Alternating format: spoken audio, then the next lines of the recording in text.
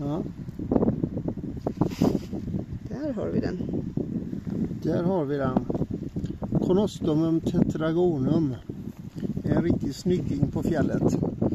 Ehm, tetragonum betyder fyrkantig och man känner således igen den på att om man tittar ovanifrån på skotten så är de femkantiga. Ehm, logiskt och bra. Eh, men en väldigt enkel eh, mossa att känna igen för de har de här, den här karaktäristiska ljusgröna färgen. Eh, växer gärna i sådana här små kompakta kuddar på fjällhed.